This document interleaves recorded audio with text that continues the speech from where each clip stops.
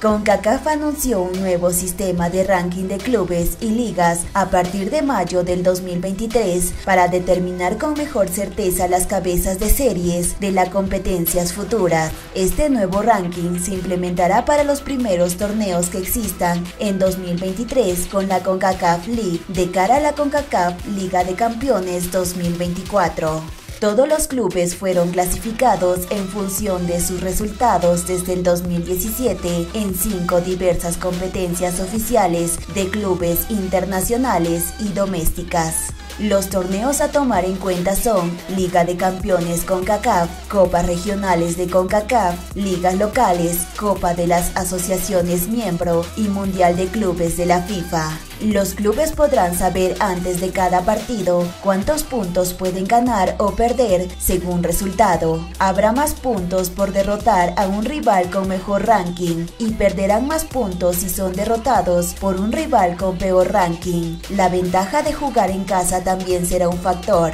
Monterrey, América, LAF, Chivas y Tigres son los clubes que están en el top 5 del nuevo ranking de clubes de la CONCACAF seguidas de Tigres, Pachuca, León, Toluca, Filadelfia Unión y Satli Sondert. Para el ranking de ligas solo se consideran los partidos internacionales y los partidos de ligas de competencias con CACAF otorgarán el doble de puntos en comparación con las copas regionales de CONCACAF. El nuevo ranking de clubes se basa en las actuaciones de los clubes en competencias internacionales y domésticas oficiales, mientras que el ranking de liga solo se considera partidos internacionales. La Liga MX es la número uno, seguida de la MLS en segundo lugar, mientras que la Liga de Honduras, Costa Rica y Guatemala contemplan el top 5 de este nuevo ranking de Liga de CONCACAF. A continuación, escuchemos a la prensa de Honduras reaccionar a este ranking. Los primeros 12, 15 lugares son los mexicanos y algunos de la MLS. Como es, es normal, correcto. Es normal porque ellos son los que mandan.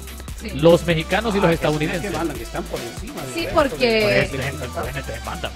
Claro, porque evidentemente económicamente yo me refiero tiene... a futbolístico que manda. Ah, económicamente. Yo no estoy hablando de temas dirigenciales. Pero es que económicamente es lo que le permite que puedan llevar jugadores de alto nivel, alto, alto rendimiento.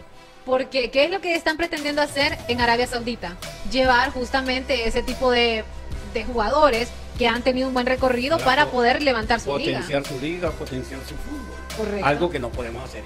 Es que sea, es muy complicado. Es que seamos claros y no... Seamos sinceros y claros, realistas. Centroamérica jamás va a estar por encima de la Liga Mexicana y la MLS. No, Bueno, muy ojalá que lo recuerdes siempre cuando vamos a esos enfrentamientos directos. No, pero esa ya es otra cosa, Eduardo. No, pues sí, porque no es el sentimiento, sino la realidad No, eh, no, pero es que... eh, eh, Porque yo como, a veces como mezclamos muchas cosas. yo quisiéramos que, que fuéramos campeones del mundo, pero en la realidad no llegamos ni siquiera a los cuatro juegos. No, estoy hablando como liga. se ha eh, ganado estoy hablando, estoy hablando más. Entonces el, pero el Motagua no hubiera eliminado al Pachuca. ¿Qué? ¿Te dan? El Olimpia no hubiera goleado Lo- al Atlas.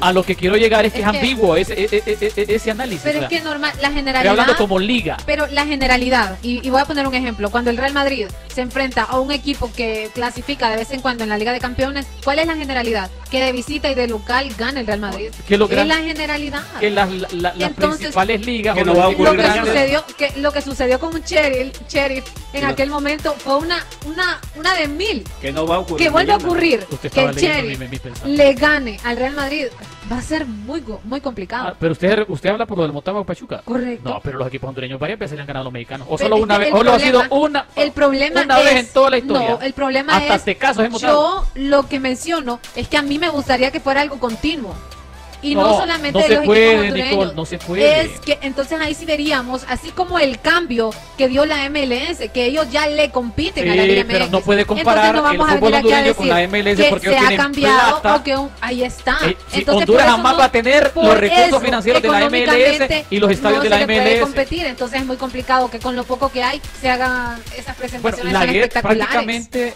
prácticamente el pleito por ser mejor de la CONCACAF es entre Estados, entre México y Estados Unidos a nivel de equipos. De hecho, el campeón es el Seattle Sounders y ahora está peleando ahí uno de la MLS con uno de la Liga MX.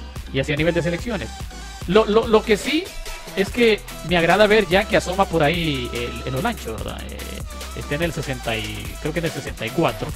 Eh, Bueno. el Olimpia es el mejor de Centroamérica. Olimpia aparece. En el ranking de la CONCACAF, ahí aparece el 39. Saprissa, después aparece el Alajuela, el Comunicaciones y el. Olimpia está arriba de, está arriba del Vancouver, del Toronto, del Chicago, del Houston, del DC United, del Saprissa, Comunicaciones, o sea que en ese puesto 39 es el primero de esta área de Centroamérica. Es que lo ha ganado por lo que ha hecho en los últimos años. Luego aparece Saprissa y muy pegadito de Comunicaciones. Sí, se lo ha ganado.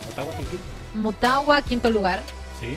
Y de los equipos 53. hondureños eh, aparecen eh, En el en, el, de en el top 10 aparecen cuatro hondureños. Cuatro. ¿no? Tres. O, o tres, tres hondureños. O el Olimpia, que es el mejor de Olimpia, Centroamérica. Motagua y Real Motagua, España. que es el quinto, el cuarto o el quinto. Y el décimo es el España. Después aparece ya Maratón y el Juti- No, y el- Maratón y el aparece en Olancho. el 63, Olancho 66. Pero ya habla a nivel de CONCACAF, a nivel de Centroamérica. Correcto, sí. Bueno, Vida 83. interesante. Y ya viene el torneo centroamericano y Honduras tiene cuatro plazas, ya están definidas Olimpia, Olimpia Real la. España y Olancho. ¿ah? La primera edición la gana Olimpia. Esta que Como en la liga La de viene. Como en la liga CONCACAF. la centroamericana. O sea que futbolísticamente lo ve Eduardo. Vuelve el Saprissa, Eduardo. Vuelve el. Saprissa este Ah. torneo. futbolísticamente por lo que viene haciendo Olimpia o, o asimilando lo que hizo por allá en 2017 que ganó la liga CONCACAF. A nivel de Centroamérica, Olimpia es el que.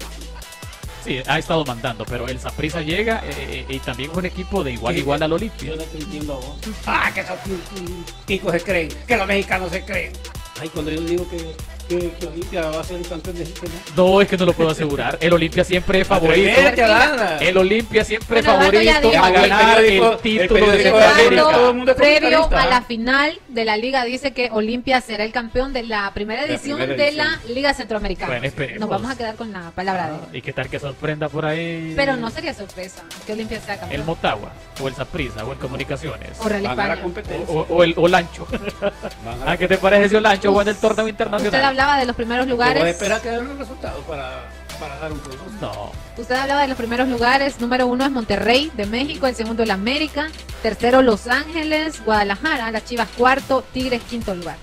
Sí, porque han estado peleando a nivel internacional. Bueno, y en el ranking de las ligas, eh, la Liga Hondureña es la mejor de Centroamérica y es la tercera de la CONCACAF abajo de la Liga MX y la MLS. Y hay que decirle a la gente, no es por lo administrativo, No, no son- es por la infraestructura, No, por el desorden no es que hay acá. por la- No, no, no, no. lo del modelo de calendario, No, sino lo por la participación de los equipos en los torneos internacionales auspiciados por CONCACAF. Y eso lo dijo la CONCACAF. Dije que el parámetro son los puntos en los torneos internacionales. Exacto, por eso sí, para aclararle a la gente, Sí. porque si fuera por la administración, por la hecha de calendario, quedamos en último. Sí, es cierto. Ahí quedaríamos Julio. ¿no? Bueno, y mañana el Real Madrid, Nicole. Bueno, hoy avanzó Inter, como ya era, Sí. ya era una noticia. Hoy traicioné a mi equipo, le normal. cuento. Iba con el Inter. Eh, económicamente iba con el Inter. Bueno. Hoy traicioné a mi equipo. Es, que, es, Mañana. que, es que ahí no se no, podía es hacer que nada. Había posibilidades. No historia ya hacer estaba contada. Mañana sí, el partido está uno por uno. Ah, no. Vuelta en Manchester, Manchester City contra Real Madrid. ¿Quién avanza? ¿Quién avanza? Manchester City. ¿Quién avanza, Eduardo?